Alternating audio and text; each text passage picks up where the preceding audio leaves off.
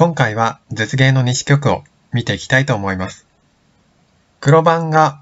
九段の方で、プロの方ですね。白番が絶芸ですね。白は右下に星に打ちました。黒はすぐに三々に入っていきましたね。まあ、この三々を見ても字に辛い気風の人だということがわかりますね。で、白は上から押さえて伸びていきましたね。まあ、最近桂馬に外すと、まあ、黒がぶつかってくれれば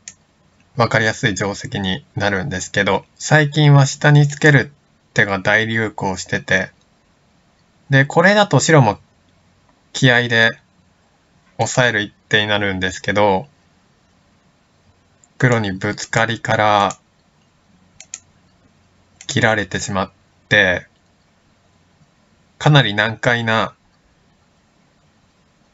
形になるので、伸びる手も最近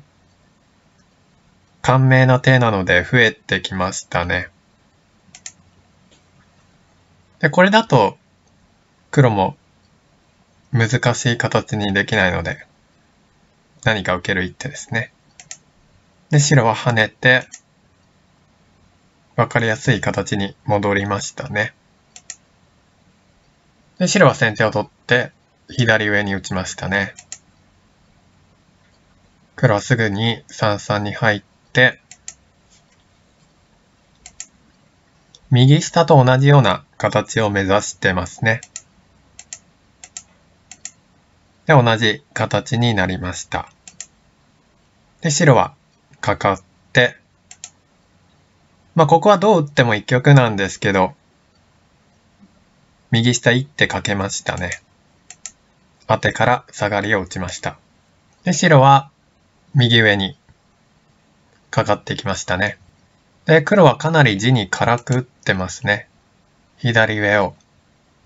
一手かきましたね。で、ここで次に白が打った手がかなり珍しい手でしたね。まあ、どちらかに両掛かりする一手なんですけど、ここに両掛かりしましたね。この手は僕は初めて見ましたね。かなり珍しい手だと思います。普通は桂馬か一見に両掛かりするんですけど、この裾掛かりの方に両掛かりする手は初めてですね。まあ2戦なのでなかなか、まあ今まで盲点だったというか、考えたこともなかったですね、この手は。で、実戦は3、3にコスんで、白は桂馬に打って、肩ついてという分かれになりましたね。ここはいろいろな手が考えられるんですけど、例えば、外に桂馬にかけていく手も考えられる手なんですけど、やはり隅の三々が大きい手なんですよね。で、こういう形になった時に、黒が例えば手を抜くのは、すぐに右上でぎってこられて、この戦いがまあ結構厳しいんですよね。すぐにできってこられるのが。なのでなかなか手を抜きづらいですよね。で、黒が一手かけるのが相場だと思うんですけど、例えば白がここで右辺に受けてくれたら、黒は抑えるのがいい手で、これは上辺が黒模様になりそうで、右上の黒石がなかなか攻められにくい石になってるので、これは黒が良さそうなんですよね。なので白としては、厳しく出を打って追求してくると思うんですよね。で、黒が繋いでくれたら渡っといて、これで黒の6子が重たい石で、まだ攻めが効きそうなので、あ、この形は結構白がやれそうな形なんですよね。なので黒としてはこの時に遮っていきたいんですけど、白から切る手があって、で、黒としては、当たりを打ってつけるのが筋なんですけど、白は2子を取って、で、この当たりが効きますね。で、黒は跳ねるのが筋で、これで黒が部分的に不満ないように見えるんですけど、まあ白は追求してきますよね。ハサミ付けで追求して、で、黒下がりに飛びで厳しく追求してくると思います。で、黒はハサミ付けぐらいで、白膨らみに渡って、で、白回ってって、で、おそらく白は最強に追求してくると思うんですけど、しつこく攻めを継続されて、黒もなかなか嫌な形なんですよね。まだ完全には収まってないので、しつこく攻めてこられそうなんですよね。というわけで、黒は隅に3三に打ちましたね。で、白は桂馬に打って、で、ここで一見に肩つきましたね。まあ、この手もいろいろ考えられるとこなんですよね。例えば、コスむのも一般的な手で、二間に白が打ってくれたらかけていっ、こういう進行も考えられますよね。黒は抱えを打って白二間開きぐらいで、で、この時黒は押しを一回打つのが大切な手ですね。で、左辺に挟むような手も考えられますよね。まあ、こういう展開も普通の展開で、まあ、白に右辺と上辺両方打たれたんですけど、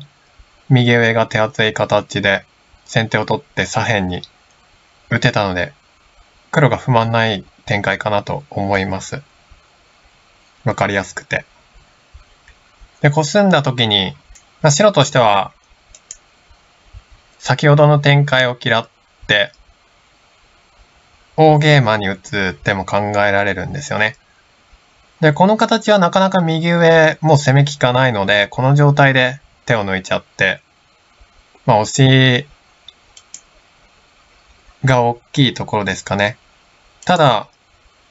白も弱点があって、大ゲーマに打つと一応この打ち込みが弱点なんですよね。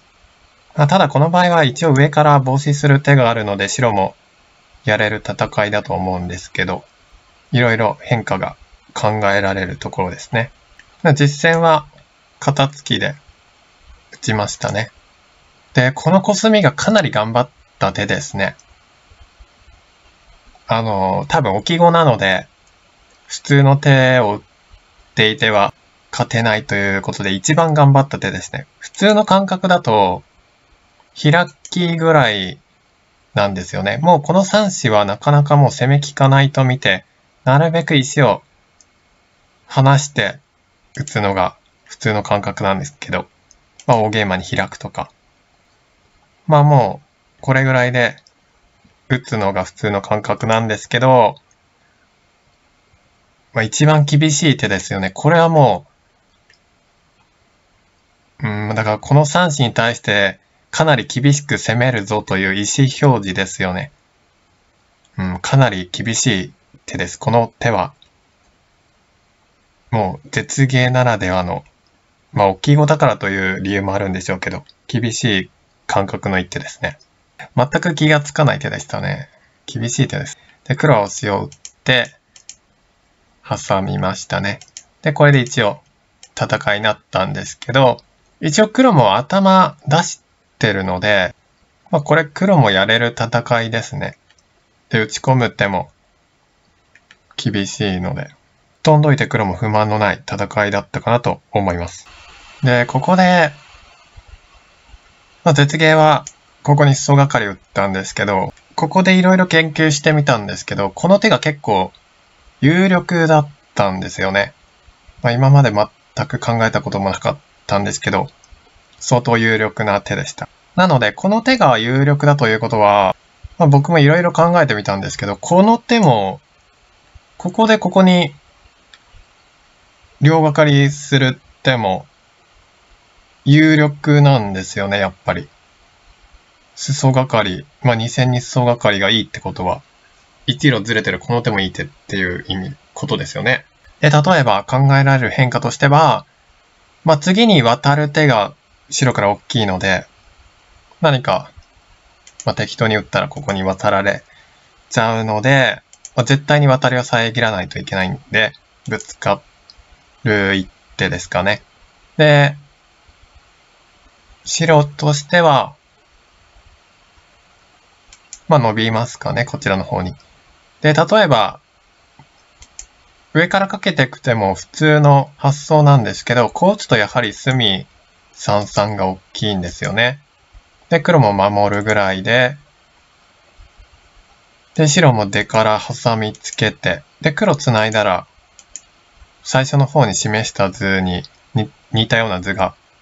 ありましたよね。で、これでやはり黒石がちょっと重たいので、隅の字はえぐってて、これは一応攻めが効きそうなので、白としても不満のない展開ですよね。やはり隅に行く方が大きいですかね。ここでも白から色々な手が考えられるんですけど、まあ、桂馬に打ったとしたら、まあ、黒コスむような手が考えられますよね。で、白、調子で桂馬して、まあ、黒は押していく一手ですね。でここまで利かして、挟みたいですかね、ここは。で、白も、これが先手で効きますよね。で、コスミツケ打つかどうか難しいんですけど、まあ、打ったとしたら、打ってから一見とか考えられますよね。で、これで一応戦いなんで、まあ一応、お互いに弱い石抱えてるんで難しい戦いですよね。まあ白も置き子なんで難しい戦いになれば一応歓迎ですよね。なので、まあやはりここに両がかりしていく手も有力なんですよね。特に、ここに裾がかっていく手は実戦で打たれたここの裾がかりはあんまり研究されてない形だと思うんで、かなり研究次第で有利に立てる手だと思うんで、有力な手だと思います。うん、黒の最善の打ち方というのもなかなか、うん、はっきり結論出すのは難しいですし、咎めようと思って外から打っても三々が厳しいので、なかなかこの2戦の裾がかりを咎める手はないんですよね。なので、実践で機会があったら試してみようかなと思いました。というわけで、今回はここら辺で終わりにしたいと思います。ご視聴ありがとうございました。